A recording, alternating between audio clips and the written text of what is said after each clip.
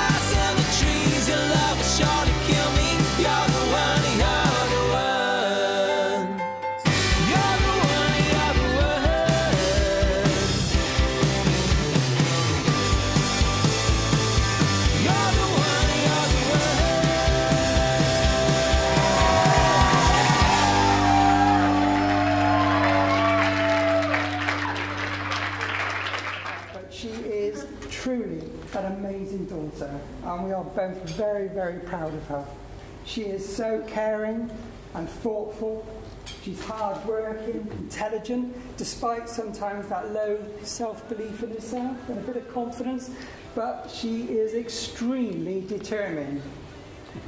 And she has achieved so much with her education and her career and has grown into a very capable and inspiring woman. And I personally am very proud of her.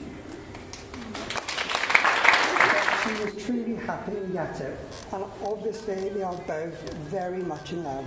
And we are delighted that she's found a soulmate to start a life together, and we have a new son. can't begin to tell you how absolutely beautiful you look today. When I saw you coming up the aisle, I realised how lucky I am. I love you in so many ways, and for so many reasons. You know me and understand me like no, no one else ever could. You have a way of bringing out the very best in me, and mostly because you're my very best friend.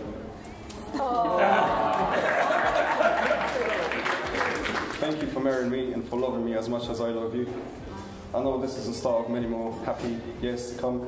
And in front of all my family and friends and your family and friends, I, I promise I will try to be the best husband you could ever ask for. You're lucky. You're lucky I've decided I won't talk about the time you smashed the shop window and you couldn't get a girl's phone number when you were 18. You're so, so lucky.